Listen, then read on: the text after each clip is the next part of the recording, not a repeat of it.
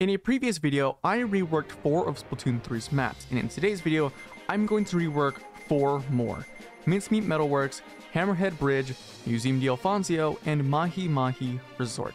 Without further ado, let's get into it. Okay, now something that I probably should have brought up last time I did this is that I actually have rules when it comes to redesigning and reworking these maps. And my number one rule is that I cannot change the base layout of the map no matter what. I can add and remove things as much as I want, and I can adjust, uh, you know, objects here and there and add ramp. Basically, if a map is shaped like a Tetris piece, I cannot change that. All I can do is add on and you know take away features and locations to make it more of a better time. That English was admittedly broken, but I'm assuming you still get my point. But anyways, starting off with Mincemeat Metalwork, I want to go ahead and change this section over here. I want to make this entire area right here, starting right here. What I want to do is I want to make the rest of this area open as a platform because there's really no reason as to why this empty space just exists. There's really no reason to do it at all, to be honest. What we're gonna go ahead and do is make this a platform area. Next up, what I wanna do is I want to remove this block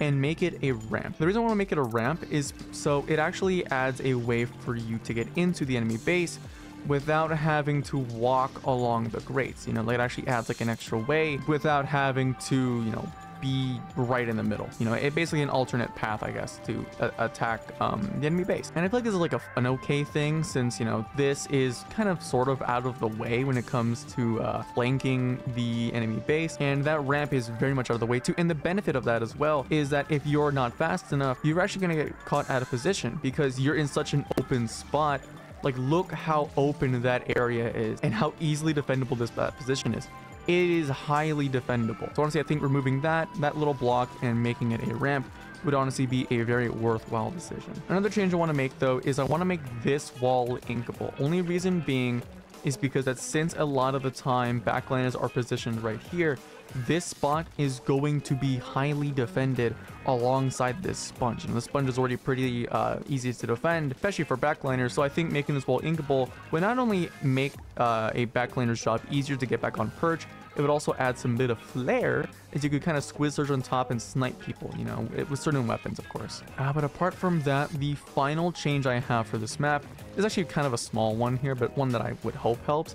Uh, I want to make this wall inkable. This patch specifically, like these two, these six blocks total specifically, I want these to be inkable. That way you can kind of squid surge and roll or just kind of roll off the wall and are able to access this area over there. That way you can do something similar like this and find a way to get onto this little area. That way there's like a bit of an alternate route. And the best part about this too is that it's a sort of like risk reward thing, you know, because since you have to actively go out in the open and squid roll just to reach the enemy side, that really puts you at a disadvantage, you know, and a lot of the things that I've talked about, especially in last uh, my last video where I did this, is that a lot of the changes I'm making are very risk reward, you know, where it's like, yes, it, the reward is that you were able to flank in an area where enemies are able to control it very easily. However, the risk is that you're out in the open. That's like kind of one of the mini rules I set up for myself, is that I can change certain layout of maps. They just have some sort of risk reward. Uh, but that is all I have for Mincemeat Metalworks. Uh, but let's move on to our next map. Hammerhead Bridge. Now, immediately starting off with the changes here, I want to put one of these inkable blocks right here. Also something I want to point out, if you didn't already notice, there is going to be a map on the bottom right section of the screen at all times to show the changes that I want to make. Now on my Twitter, I have posted the full and complete pictures by the time this video releases.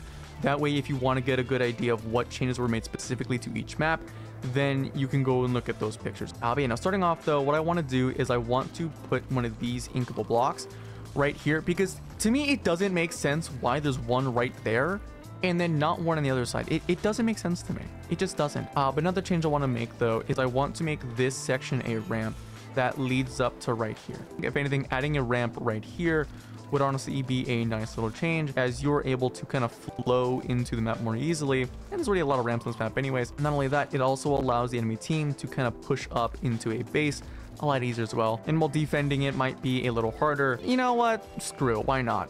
uh, another change I want to make though is I want this platform right here. I want this to be extended outward. Specifically, I want this to kind of reach that because to me it doesn't make sense that this platform is meant to get into a larger area but yet before it reaches that larger area it kind of narrows into this like little corridor it, it doesn't make sense to me so i think if anything extending this area out to be a bit more blocky would honestly be a pretty nice change uh, now a sort of like major change that i want to make is i want to add an ink rail or ink line whatever it's called right here. Either right here or like I think it was right here where I put it on the map. Uh, I want to add one right here that will lead all the way around. Now on the new maps, um, I think it's on Crableg Capital, there's an ink rail that leads from mid into another portion of it or like as another flank around it I, I, guess I don't know. The, the new season isn't out yet by the time I'm recording this video so I don't know how it works specifically but there's an ink rail there. So I feel like you know if Nintendo's gonna be adding ink rails into maps then maybe they should go back and rework some of the older ones to add them. So that way stuff like this you know adding an ink rail right here would allow a flanking position to go over there and it also allows that area to be a bit more useful. Now, speaking of that area though, what I want to do is I want to add one of those balloons. More specifically, I want to add one of these balloons right here. And the reason for this is because I feel like a lot of the time when you end up kind of inking turf or going in this area, you're out in the open. There is no cover in this area at all. So I feel like adding one of those little balloon dummy thingies would be a nice little change as you have something to maneuver around in fights. Uh, but aside from that though, probably the biggest change I want to make this map is I want to make this taller. I want to make these ramps on either side taller. So that way the jump from this isn't as awkward because the jump from like this area to this block, it's doable, but without enough swim speed, it ends up becoming a very awkward jump. So I feel like making these things taller would honestly be pretty nice and it allows an actual reason to play up on these as you get a height advantage over a good majority of mid. You know, it actually adds like a bit of tension to the map uh, and allows an actual use for these things aside from, oh, look, an object to play around. You know, actually, like, you know, actually, no, it gives you height and allows weapons like Goo Tuber and Squiffer to be in a better position than if they were to just be in their backline from behind this balloon. You know, it, it allows for better positioning, in my opinion. Uh, but that is all I have for Hammerhead Bridge. So let's move on to our next map. All right, Museum de Alfonso, or Museum whatever. Uh, Museum de last name. Uh, the changes I want to make for this map, just right off the bat, is I want to make this platform be extended to the, to the right a bit more. More specifically, I want this to be moved over so right exactly where that ink puddle is. On the map there, uh, where I kind of drew in everything else, you can kind of see where I extended it there. Uh, but basically, I want that entire section to be moved up more. That way, there's more room up here. You know, that lot more area to cover, a lot more area to play around with. And honestly, I feel like it'd be more comfortable you know, if it was kind of moved over to the right just a bit more. But apart from that, what I want to go ahead and do is add a vertical sponge right here. A sponge that maybe starts at player height, but you have to shoot an ink in order for it to reach max height that we can get over the wall. Now, the reason I have this under a sponge instead of an inkable wall is because I feel like if this was an inkable wall, it'd be far too easy and not as time consuming as it would if you just kind of go around. You know, because I still want this area to be accessible easier, but I still want it to be somewhat time consuming. That way on both sides, if a player really wants to go on this side, you have the option of taking the kind of longer route right here or just ink a sponge that yes it may take some amount of time but maybe you can speed up with a specific weapon. So i feel like adding a sponge right here would honestly be pretty damn nice. Apart from that though another change i want to add is i want to extend this platform over to the left here to make it more comfortable.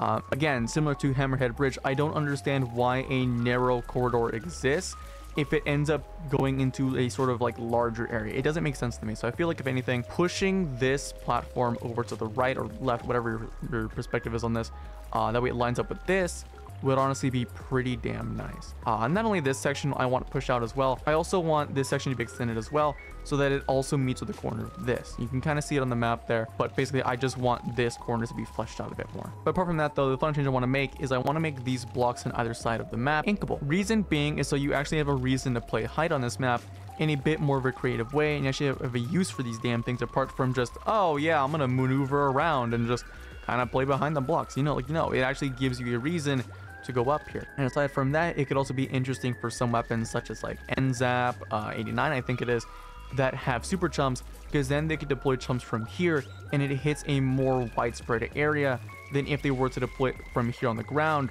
or from here. you know, because this kind of gets in the way, at least over right there, it's not as in the way. You know, you get a bit more leeway as you're able to get the backside there. But apart from that, though, that is all I have for Museum.